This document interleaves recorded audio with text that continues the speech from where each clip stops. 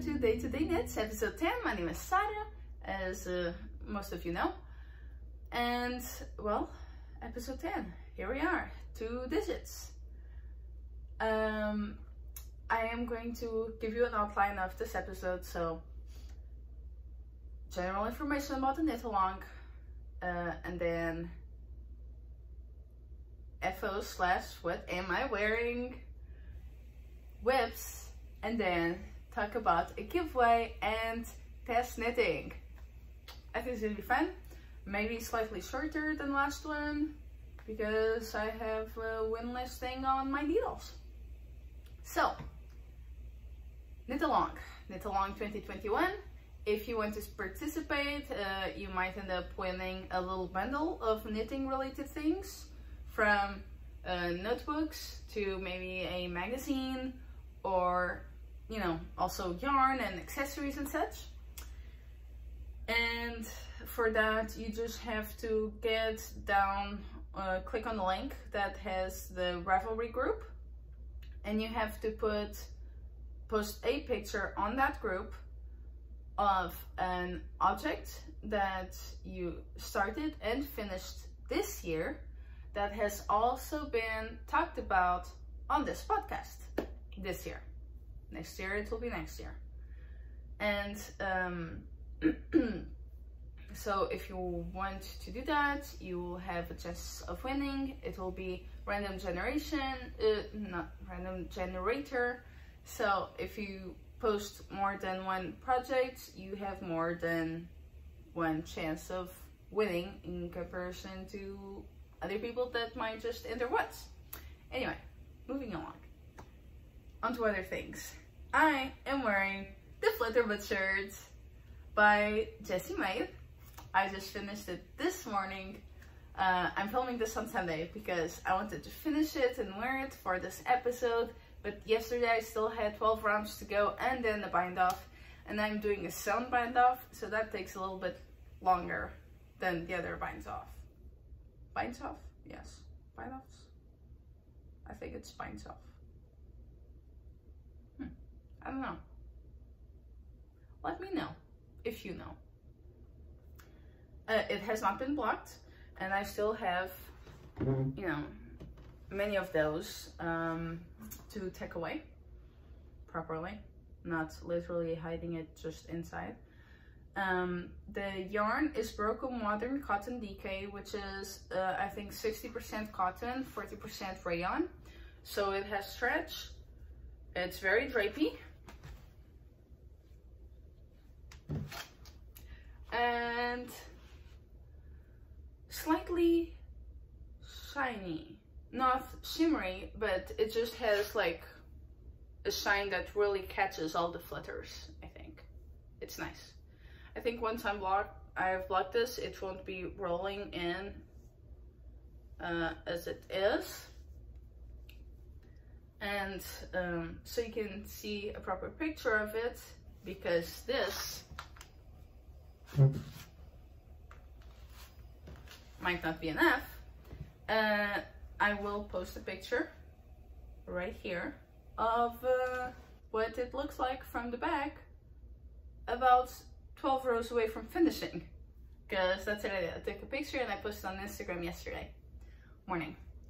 Uh, for this, I used a US 3 and the US 1 needles I do not know by heart what those numbers are in millimeters, but that's something that you can easily Google. Or if you have one of those little rulers, um, or, um, you know, the things that you use to measure needles, I think it usually says both American size and in millimeters. At least the ones that they sell here do have both of them. So if they are being made once and sold worldwide, then I would think that, you know, they would have all that information there.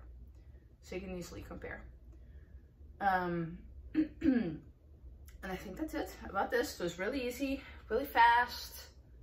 Uh, I have one mistake here, uh, but as you can see, it is fixed. Um, I cheated but it worked. so who cares? And today I will be blocking as soon as I took all of these ends away. And I used two full skeins, two completely full skeins. So changes that I did to this pattern. This, this part here, before it separates for the sleeves, I did it about like three inches shorter the flutters, they're supposed to be three inches long. That's less than 10 centimeters. I added two more inches. No, now it's five inches, which is what? I don't know, 12 and a half, more or less, 12 and a half centimeters for the flutter part instead of like seven and a half centimeters. And then uh, for the bottom part, I just used up as much as I could of my second skein.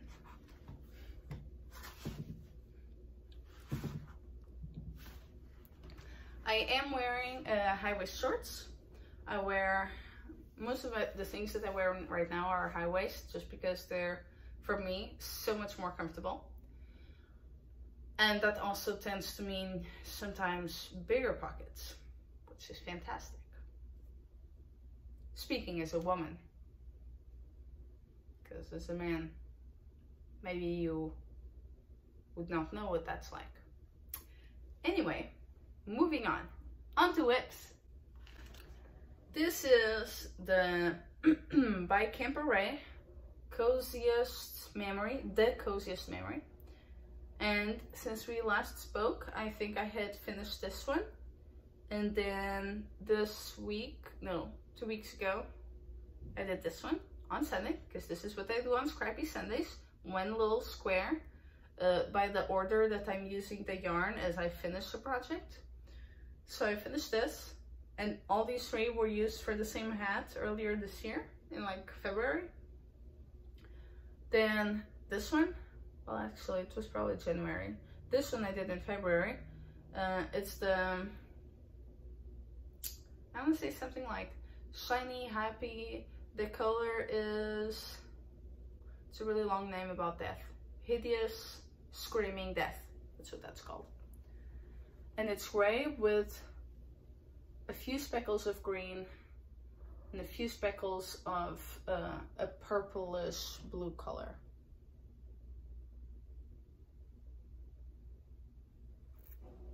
And the other one is just a ivory And now I am doing, because today is Sunday, so I've already started my uh, square of the day. I'm using the thread that I used to make socks earlier this year. I would say Christmas socks, because that's what I had in mind when I made them. Christmas. Uh, and this is a local yarn to Tennessee, or, or, well, I mean, it's from a local dyer. Um, I'm not sure if the sheep are actually from Tennessee. And I believe that it is a superwash, 100% merino, like 50% um, nylon sort of yarn. And this is it. And it is the happiest, jolliest red. I love it. I only have this much left. It was quite a pricey skein, but it was like 20, 100 grams, $25.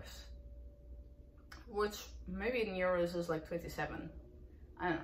For me, that is a lot for a skein. Um, but you know, it is an indie dyer, so that's what it is and that's where I am with this. Uh, I think I am only a couple squares away from starting the second row because I'm doing it for a king size bed, so it's quite large. And that's where we are with this. Now, for Inga skis, skis, skies, I do not know, socks. They're called rustic cable socks. This is the finished one. It has a super easy uh, to remember cable pattern. And I think that last time maybe I had not cast on yet. Anyway, I am at the heel. So that's the heel flap here. And that's the front of the leg. I'm using a long dog, long dog yarn or yarns. And the sock is a bounce sock, which is a superwash merino with um, nylon. I can't remember if it's 15 or 20%. The color is beautiful. Gingerbread, uh, I mean, really shows what it is.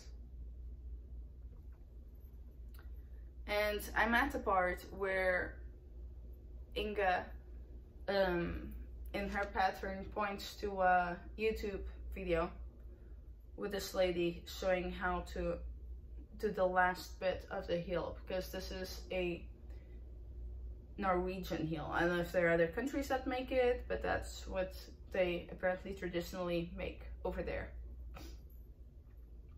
And um, the video, it doesn't have instructions. And it's literally just the lady showing you beginning to end of finishing this part of the heel. I well, maybe it has other things in it, but it's just her knitting and I only watched the part where she's knitting the heel. Um, because, well, those are the instructions. Uh, there's no step-by-step -step instructions, but you just have to watch the video. So I've been trying to find some time where I'm not out and about, which I was all the time yesterday. And then I had Crazy Sock Camp, uh, Crazy Sock Camp, no, sorry, Summer Sock Camp with the Crazy Sock Lady. And uh, so I, I just haven't had time yet. It's been extremely busy and I just haven't had time yet to finish the seal. But we will get there and I want to do that today. Because I want to in a week have that sock done. So it's an easy pattern. Uh, the only thing and I'm, I'm knitting the cables without the cable needle it's very easy um, I want to say that someone out there has a video on how to do this, but I think you just have to Google or go onto YouTube and search for how to knit cables without the cable needle. It's very easy and these are not like huge cables. So unless you have a super slippery yarn, you can do that. And then you just have to watch the tutorial for the bottom of the heel and then it's like smooth sailing. And then I just have to look for the instructions for to make the toes because I don't know that by heart. But it's super easy. I love the yarn. Uh, I love the pattern. I think it's super cute. Uh, I definitely plan on doing it again. Um, you you know well some of you know that I bought lots of sock yarn from um, a discontinued um, type that was on sale a few months ago and lots of those are in brown colors or beige. So, you know, I think that would go well with cables. I think cables say um, winter, fall, and you know, all those colors that go with it. Trying to check my notes here. Ah, yes, and then we have the Sorrel, which I will not really say much. It's the Sorrel by Wool and Pine. I'm using uh, mostly Mondim yarn and uh, Rosários for the first mohair for the top and Katia Concept 50 mohair shades.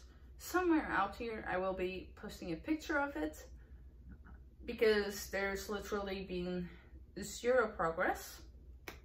I started using a US 7 needle but then after I had a little issue with it uh, I changed to a number 5 and for the ribbing I'm using a number 3 except for the ribbing at the end of the body because I completely forgot about that. And you might now be listening to my washing machine telling me that uh, it's time to change things. So I'm gonna do that later. But basically this is what it looks like. It has literally not changed places in the whole bedroom.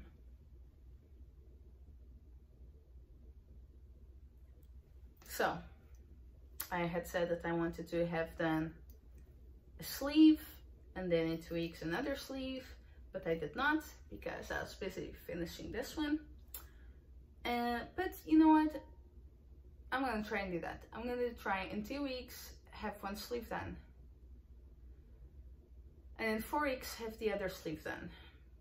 The thing is, I knit at um, lunchtime at work for what, an hour. Uh, and then usually I come home and knit some more. But work has been so busy that I am not taking a lunch hour. I'm working through lunch. And um, and then I come home and I'm just tired and I still have to do chores and cook and all that. Or I'm gonna go and hang out with my in-laws or something. Or Effie's having trouble and I have to take her to the vet or, you know, this and that and those. And so that's why lately I've had a whole lot less time for knitting. Luckily, this is super easy. Yesterday, I was literally shopping for like clothes with Joseph and knitting. I had my my yarn bag on my shoulder and I was just knitting as he were was like trying on shorts and such. Easy. And wow, it is not even yet 20 minutes of this and I am done with the WIPs. Isn't that crazy? That's a big change. But we have other things to talk about. So as you know, I have designed a pair of socks and oh, it's on my lap. Uh, I only brought one out here because I only need one to show you what the sock looks like. But it's a shorty. It has a lacy pattern out front and on the side as well. And that is in the pattern divided with in three charts think I've told you the name, but it's called Hera socks. Hera is the Portuguese name for an ivy plant. And you know what? I think I'm going to try to spell out, like not spell out, but if I were an English speaking person as a first language, how would, like what words, what string of letters would make it sound like what it is in Portuguese. So then you can compare. Because I can totally see people calling it Hira or Hire or something. But the H is silent. And then it's an E, which is called, well, read as E. And then you have an R and an A. The R is just like a little flick of the tongue. Re, re and eh at the end, which really uh, in English I put a U with an H. Uh, uh, and anyway, so the pattern is out for sale. Isn't that cool? It's my first one. Um, it's uh, really exciting and oh, the yarn is Mondim. And you can see the bottom of my foot is starting to felt. Like you can see here where I don't put my weight and then here where it's felting, which is, I think, good news for a 100% wool sock.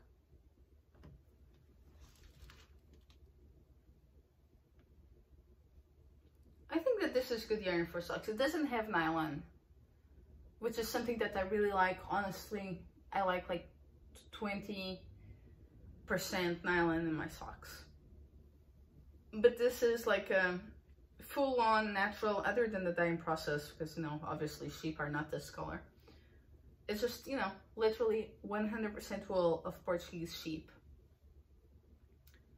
Meaning not superwash but I also I don't put my socks with my other clothes. I just don't do that. I wash everything with soak, where you literally just soak it for 15 minutes with the product soak, which I had a little bottle around here, but now I don't. Um, and you know, it could be easier and you don't have to worry about what your machine or the temperature of the water is going to do to it. Oh, gosh, I, I, I love touching this part that is tweeted. Uh, not tweeted, um, felted. It feels so smooth. I like it. Alright, I'm gonna give you another close-up. Maybe you can see different the different shades of green that this color has.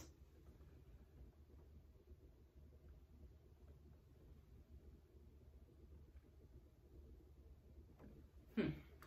I don't think this this picture the camera is showing it very well. It's a brighter green than what it is showing. But anyway, I'll put a picture here or maybe another one there. I don't know. To show you what the pattern looks like knitted. And yeah, so if give it a try, it takes like maybe a week and a half to knit. It's shorties, you don't have to do the leg. It's easy. Um, you only have to pay attention to the lace pattern but I mean, it's not like a very hard thing to do. Anyway, so I would like for you to comment where are you watching from to get a free copy of the pattern.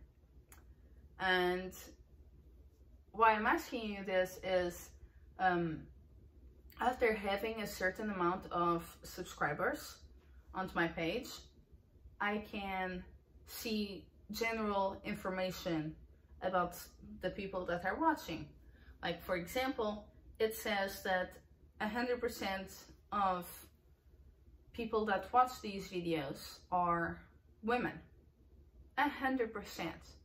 So if you are a man watching this knitting video I am curious and uh, please let us know below if YouTube is not counting you because you are one in hundreds. But really, so back to where I was. I noticed that 37% uh, of viewers are from the US, 11% are from the UK, I have it written down there, 3% are from Canada, 1% are from uh, Germany, I was going to say Deutschland, Germany or Deutschland, if you are in Germany speaking German, or you know, somewhere else speaking German. 1% are from Australia, and then two other countries that uh, still have a somewhat significant amount of viewers are the Netherlands or Netherlands and Hungary, which in Hungarian, it appears that it is called, gosh, I forget how to say this, but Magyarország. Magyarország. Mag Magyarország?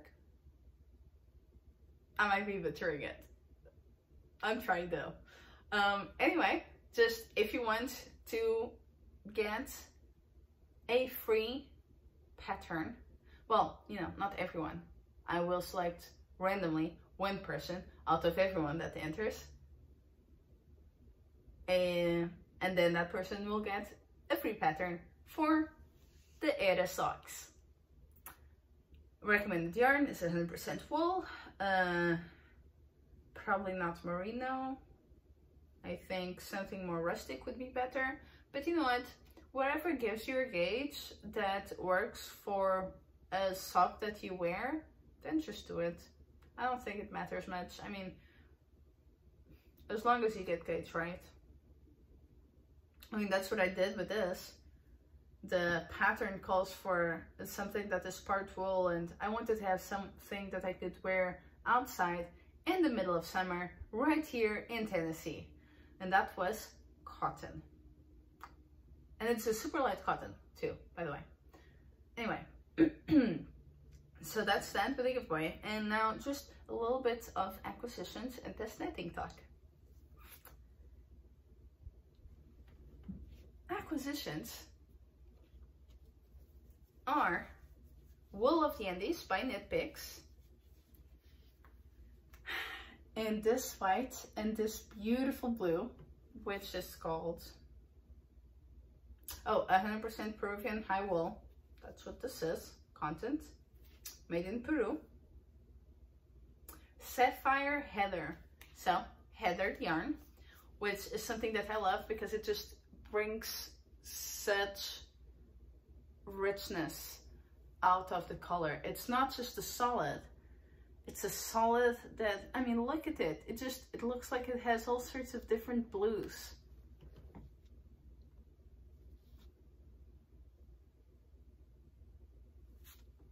Hope you were able to see that. Anyway, it is beautiful. And for this, I'm planning on designing a cardigan. I've never done a project that big in color work, but I don't think it would be very hard for the sort of thing that I am imagining. And I want to, you know, start working on it because it will take a long time and then test knitting will also take a long time. So that's something to look forward to. And then in a week, I will need test knitters for a sock that has the tiniest amount of color work and it is going to be a shorty, very vanilla-y like. So very easy other, you know, than that tiny color work part, which you will memorize in seconds. It is that easy. And for that, I am going to be using, I don't have it here right now, but my plan is to use the, I have to pull it up here, Hawthorne. Speckled hand painted that's what I'm going to use as a main body yarn. And it's a hand painted yarn as the name says and it is I believe it is 80% fine superwash Highland wool and 20% nylon. Now this is a superwash that does not feel like superwash because it is Highland wool. It feels slightly more rustic. Now I don't love superwash just because it is superwash because of the environment. Um, but right now uh, I do not have access to 100% wool yarns or not 100% I mean I don't have access to sock yarn with or without nylon that is fingering and that is not superwash so that's the one that I'm going to use not that I have to explain myself but I will because, you know, you know how I stand on this and I think it makes more sense if I explain. And so, main body is going to be that, the Highland hand painted yarn, which is fingering. And then I'm going to be using one of these for the color part. I'm, while I love this one, I really am into pink right now because it's the peak of summer and really that's mostly the only time that I wear pink. And so this yarn is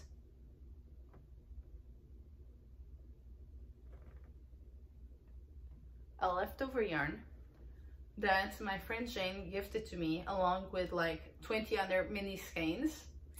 And so what I recommend if you want to test knit is like 20 grams of a fun yarn that maybe if you don't wear neon but you've always wanted to like you've always liked neon I would get something like that. Or if you just want a little color you know just something that is fun and enjoyable and just pleasant surprise a nice detail. And then just a main body that will coordinate well with it. It could be high contrasting um like say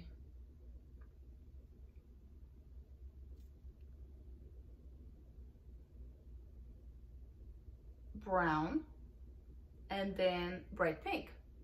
Or let me think a navy blue and then a super bright greenish turquoise color you know just something that you would consider a basic that you'd wear all the time and then something fun that you don't get to wear all the time, but it's not like you don't like it, you just don't want it all over your body. Uh, and let me know if you want to test knit. I will be posting soon about that particular test knit on my Instagram page. So you can uh, go on down. And you know, I'll just maybe ask you a couple questions about uh, your experience test knitting but this is a very easy pattern. Um, you don't have to read charts or anything, so I feel like anyone can enter, which also means that, you know, there will be a limit to the amount of people test knitting. But I've come up with a name for it, and it's going to be the Vanilla Summer Splash Socks. Lots of S's there. But vanilla, because it's going to be really simple, you can easily turn it into a vanilla sock and then summer because, you know, fun colors. And splash because it's just a little splash, you know. It's just a little something to uh, make the whole thing, you know, fun. And yeah, so that's that one. And I have two other ones. Um, one of them is going to be called Working Socks and that is without the G, uh, with an apostrophe. Um, because apparently there's lots of working socks, work socks, workman socks. So mine are going to be working socks. And that one will be superwash on purpose. And I think that I might use this one.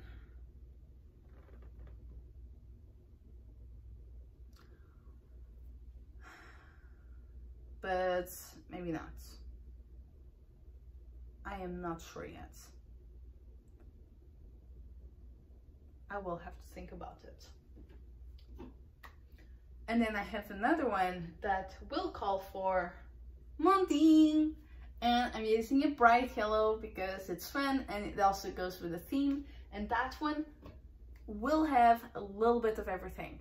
A little bit of knits, a little bit of purls, a little bit of cables, a little bit of eyelets, and it's one that will require a little bit more paying attention to what you're doing. But do let me know if you are interested.